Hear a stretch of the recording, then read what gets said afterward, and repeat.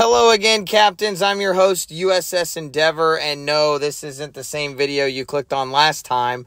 This is a brand new one, but in the same ship that we just covered.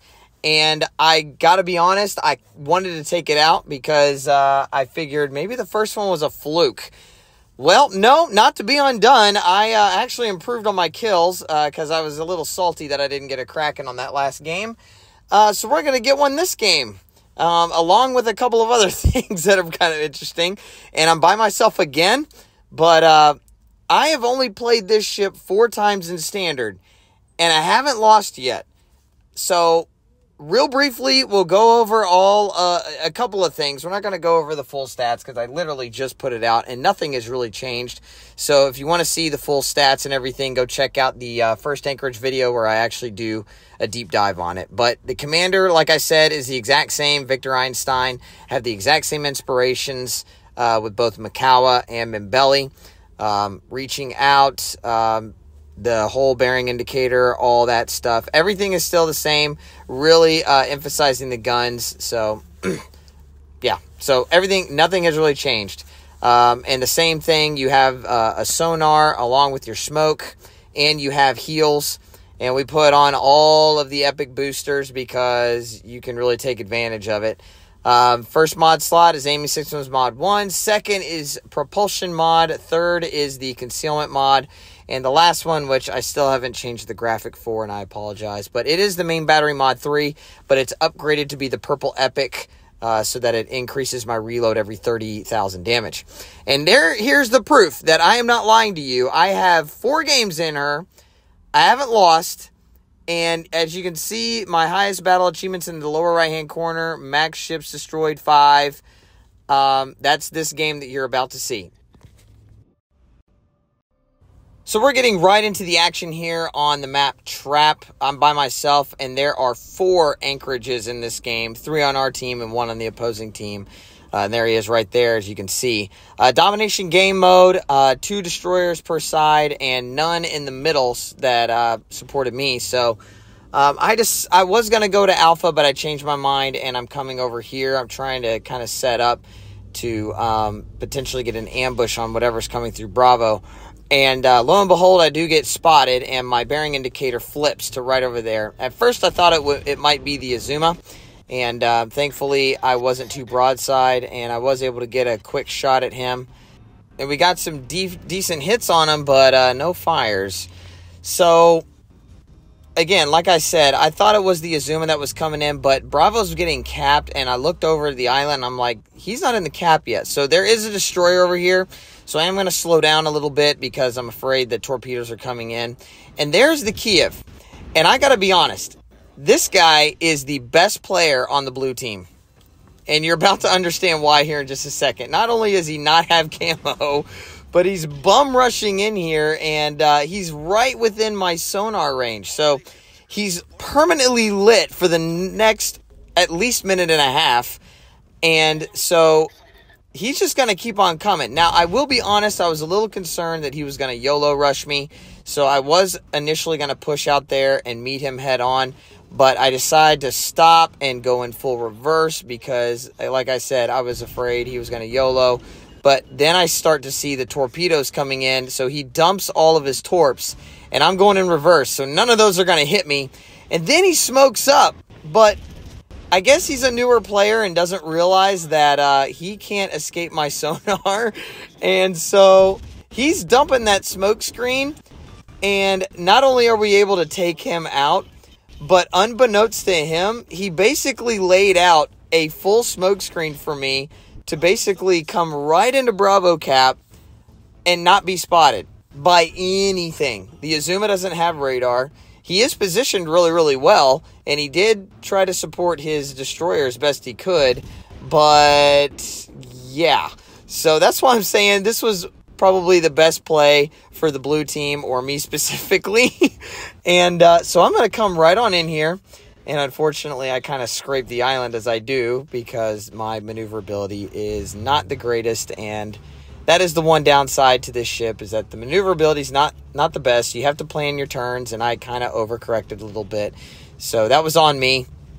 But because of the smoke screen, which I just found absolutely hilarious. I mean, he literally left it all the way up to the island. So as soon as I get up to the island, I'm going to have the island to block me. So the Azuma doesn't know that I'm making this play, unless, of course, he's paying attention. He sees it now that I'm in the cap, but he can't shoot me. And uh, technically, he's outside of my uh, smoke fire penalty range, so I can even take a free shot. Um, and there we set him on fire. And now we are fully set up, smack dab in the middle of the map, able to just basically take all these free shots. We have a destroyer on both sides on Charlie and Alpha, which they have also successfully capped. So this is like the most ideal of ideal scenarios. Um, able to basically sit uncontested inside Bravo Cap. Um, I don't think the Azuma really knew that I, I was in there. He probably knows now, but there's nothing he could do about it. As we just now eclipse 30,000 damage and we get um, the first boost to our reload, which is going to help. And that is something that is noticeable uh, in this ship. Not only is the reload already pretty good with 12 guns at tier 7, which is basically the Buffalo with a slightly slower reload, uh, but you also get the smoke screen. They hit just as hard as the Buffalo does, um, but it's tier 7, so it's a tier lower. Plus, you get the torpedoes, the smoke, the hydro. You just don't have a radar. But to be honest, this ship isn't designed for that. Um, it can't have that to be perfectly honest. Now now this is kind of interesting. I don't know if any of you guys have experienced this, but um, in a cruiser at what over 13 kilometer is that a 13 kilometer? No, it's 11 kilometers away. But still, I get a um, I get a fire. He's slowing down. I switch to AP, and I track these shots in, but I don't think I've ever gotten a Citadel on a broadside Scharnhorst in a cruiser before from that far out with 203s. The pin, I, I don't, I think I just got a little lucky to be perfectly honest, but that was a blind fire shot. And look, I got 10 hits with a blind fire hit in this, in this thing. So, uh, I take another one because I'm like, man, that was really easy. And then, uh, and then I kind of, I whiff and I miss. So this is another downside to, uh, to the smoke screen, uh, is that if you don't have spots, then you're not going to be able to shoot anything. Well, duh, that's kind of obvious. But hey, there are players of all different stages in this game, and so you just never know. Um, but anyway, this Azuma has finally abandoned Bravo and determined that it's just not worth it anymore. Very quickly, these ships are about to start to disappear on the Reds uh, by yours truly. We've got one kill right now, and that was the Destroyer, and this Azuma is pushing out broadside, and this is just way too good to pass up. And these shells are so devastating against broadside targets, and that is how it's done. Oh man, that was so funny. And then another ship goes down. And so we're going to go ahead and push on out here because the Scharnhorst has um, more to deal with than just me. And so I am getting a little bold here. Uh, not really the play that you want to make. But, you know, um, I'm I'm kind of seeing the writing on the wall. As you can see, all the um, the score is very lopsided in our favor, and uh, taking all the caps, and now we're just whittling down these ships pretty good. And oh gosh, this AP just hits so hard. And there we get shots coming from the left hand side. And right as that happens, the enemy anchorage is now broadside to me.